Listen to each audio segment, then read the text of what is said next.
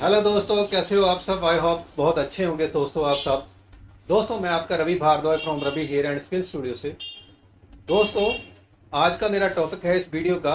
दोस्तों, आज मैं आपको करके दिखाने वाला हूँ और आपको सिखाऊँगा कि हम नेचुरल और वर्जन हेयर के ऊपर रेड कलर को कैसे लेके आते हैं।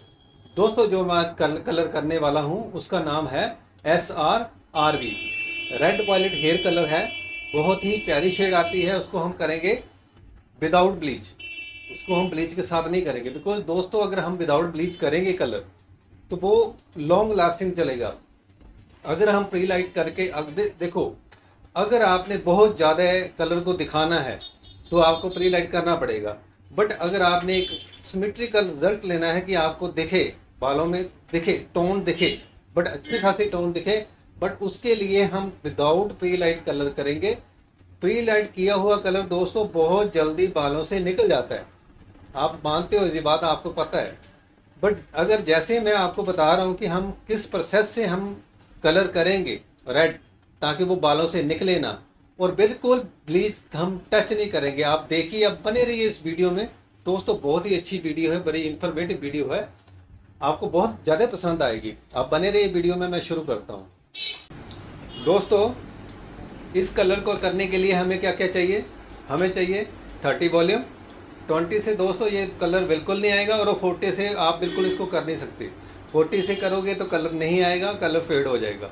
राइट आपको करना है तो सिर्फ़ थर्टी वॉल्यूम से। और दोस्तों, उसके लिए हम थर्टी वॉल्यूम और सेकेंडली ले रहे हैं हम कलर, जिसकी हमें बहुत ज़्यादा ज़रूरत है बिकॉज़ इसके बिना तो कलर हो नहीं पाएगा। और इसका नाम है दोस्तों S R R B right और हमारे पास ये हैं स्टैंड जो बाल का स्टैंड है और वर्जन हेयर है। दोस्तों इसके ऊपर कोई केमिकल नहीं लगा हुआ। तो इसके दोस्तों कलर करने के लिए ये मेरे पास बाल हैं।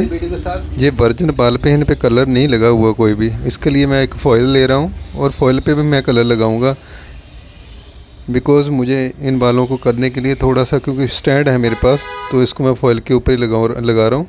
उसके लिए मेरे को एक बॉल चाहिए। और कलर ट्यूब तो चाहिए, ये मैं कलर ले रहा हूँ। कलर उतना ही निकालना है जितना बालों पे लग जाए। बेस्ट नहीं होना चाहिए कलर। और थर्टी वॉल्यूम आपने लेना है। और इसको जितना कलर डाला है, उतना ही क्वांटिटी डालनी है आपने। सेम फिफ्टी फिफ्टी रेशो डालनी है आपने। फिफ्टी से ज़्यादा नहीं डालनी दोस्तों। ये देखिए, इन बालों पे हमने अच्छे से कलर लगाना है। और मैं कोई भी ब्लीच यूज़ नहीं करूँगा इसके अंदर। बहुत अच्छा शेड आएगा। और जब कलर लग जाए और इसको हमने फॉइल के साथ क्लोज़ कर देना है, ताकि जो बाहर का मॉइस्चर है वो बालों को ना लगे, अंदर की थोड़ी हीट के साथ ये ज़्यादा से अच्छा पेंट्रेट होएगा अच्छा रिज़ल्ट आएगा। और दोस्तों, इसको रखेंगे हम कम से कम 45 मिनट और उसके बाद हम करेंगे वॉश ये मेरा 45 मिनट पूरा हो गया। अब मैं वॉश कर रहा हूँ दोस्तों। मैंने दिखाया है आपको, हमने वॉश करना है। और ये देखिए दोस्तों, ये फाइनल रिज़ल्ट है। देखो, कितने ब्लैक हेयर थे हमारे पास। तीन नंबर का बाल था और उसके ऊपर ये मैंने ब्लीच विदाउट ब्लीच कलर लिया है। बहुत प्यारा शेड आया, बहुत ही जेनवन शेड आया है दोस्तों। इसको हम बेस कलर के साथ यूज़ कर सकते हैं बैलियाज इसके कर सकते हैं। बहुत प्यारा शेड है दोस्तों। मेरे को तो बहुत अच्छा लगा। विदाउट ब्लीच काफ़ी अच्छा रिज़ल्ट आया है इसका।